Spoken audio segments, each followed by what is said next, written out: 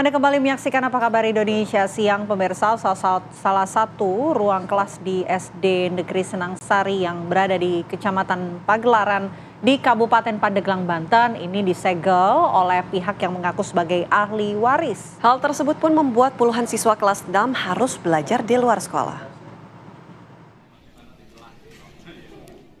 Terlihat sejumlah siswa kelas 6 harus duduk di teras kelas lantaran pintu ruang kelas tempat mereka belajar harus ditutup dengan kayu dan bertuliskan bangunan ini ditutup sementara oleh ahli waris.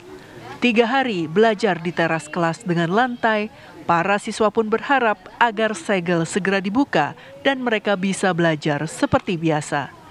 Kepala SD Negeri Senang Sari, Juhni mengatakan bahwa penutupan salah satu ruang kelas terjadi pada selasa sore oleh pihak yang mengaku sebagai ahli waris. Sebanyak 44 siswa kelas 6 pun terpaksa harus belajar di teras tanpa menggunakan kursi maupun papan tulis, meskipun kegiatan belajar mengajar tidak efektif.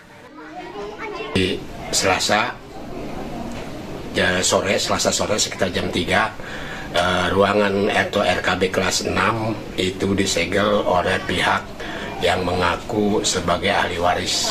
Setelah belajar mengajar sendiri saya ke tujuh aja merasa apa ya merasa rugi gitu. Jadi karena kelas 6 ini tidak punya kelas akhirnya yang jumlahnya kelas 6 siswanya 44. Dan itu tahun 2023 itu bangunan itu dibangunnya tahun 2023 oleh CP di luar kelas. Apa? Efektif nggak? Kalau dibilang efektif sih enggak enggak kalau di luar kelas itu dibilang efektif enggak enggak seperti di dalam kelas gitu ya. Jadi kami juga merasa gimana ya kurang-kurang ini gitu. Kurang nyaman. Rencananya pihak sekolah akan melakukan sistem rolling dengan siswa kelas 1 selama kelas yang disegel belum dibuka. Siswa dan pihak sekolah pun berharap agar ruangan kelas segera dibuka agar proses belajar mengajar berjalan seperti biasa. Dari Pandeglang, Banten, Andre Sopian, TV One mengabarkan. Pemirsa kami ajak Anda langsung berbincang dengan Pak Juni, Kepala Sekolah SD Negeri Sendang Sari yang sudah bergabung sama kami uh, via telepon. Selamat siang Pak Juni, Assalamualaikum. Waalaikumsalam siang. Oke, Pak Juni, kami ingin tahu kronologi kejadiannya hingga sekolah ini disegel. Sebenarnya seperti apa, Pak? Titik masalahnya di mana? Uh, begini, jadi pada hari itu, pada hari, hari bukan Selasa, Senin itu. Hari Senin itu kami bermusyawarah di dinas, ya, mediasi di dinas, saya diundang oleh dinas dan pihak itu juga pihak penggugat juga yang mengaku pihak penggugat itu diundang. Musyawarah dengan orang Badinas dengan orang Perkim Setanah. Nah. Di sana kami tidak uh, tidak beres musyawarah artinya. Karena tidak ada ya tidak ada saksi. Tidak ada saksi dan tidak membawa orang yang membeli tanah itu yang pernah membeli tanah. Akhirnya bubar jam 12 kami pulang.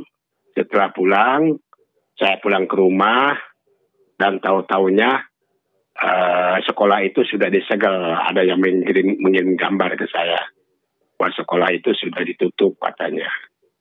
Kata saya. Dan menurut masalah pembelajaran tadi, pembelajaran di luar tiga hari itu salah.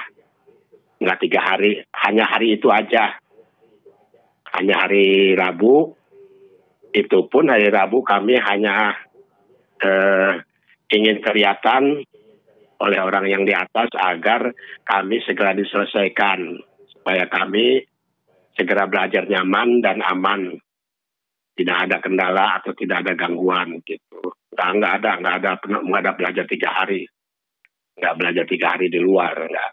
Ya hari ini pun kami sudah belajar di kelas itu itu aja Oke. Okay. Oke.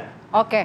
Uh, eh, Pak Juni, memangnya awal pertama kali didirikan bangunan ini sempat ada permasalahan begitu dari pemilik uh, gedung ataupun tanah di sekitar, Pak Juni? Nggak ada, nggak ada, nggak ada permasalahan. Nah, tapi yang pemilik dari gedung ini siapa Pak sebetulnya? Ahli waris ini tuh siapa sebetulnya? Ahli warisnya itu Haji Pandi ya, karena udah meninggal. Dan itu katanya, ini juga katanya udah dibagikan kepada anak-anaknya. Dan ya anaknya itu yang dapat dana dari itu dari sebelah dari belakang SD itu adalah Ibu Nici. Anaknya itu. Oke. Pak Juhni, untuk sekolah ini kan baru dibangun tahun lalu, betul ya Pak ya? Nah, ini biaya pembangunannya dari mana tuh Pak? Dari DKU ya, DKU. Oke, nah pada saat pembangunan tidak ada masalah apa pun, tidak ada tuntutan? Tidak ada, tidak ada. Lancar-lancar sampai diisi lancar. Oke, mungkinkah dari ahli waris ini anak ataupun pemilik dari gedung ini juga sempat uh, mengajukan sesuatu begitu mengenai protes jalannya sekolah belajar mengajar di sana? Anak siapa ini maksudnya?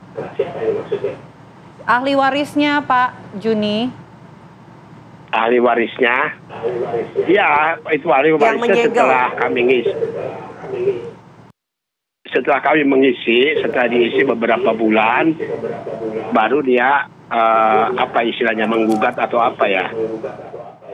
Ya datang ke sekolah, datang ke sekolah, terus uh, menanyakan masalah itu. Kami juga punya surat dan itu juga punya AJB-nya. Oke, okay. Pak untuk sertifikat tanah dan juga mungkin uh, pembangunan ini kan butuh IMB begitu ya Pak. Ini atas nama siapa ya Pak? Yang mana itu? Yang punya yang punya sekolah atau punya ahli waris? Yang punya sekolah Pak. Yang punya sekolah atas nama sekolah. Atas nama sekolah. Nah, yang ahli waris ini atas namanya sama di lahan yang sama atau atas, seperti apa? Atas nama apa ya Ibu Amah Amah nggak tahu aduh kurang kurang tahu tuh Bu Amah AJB-nya itu.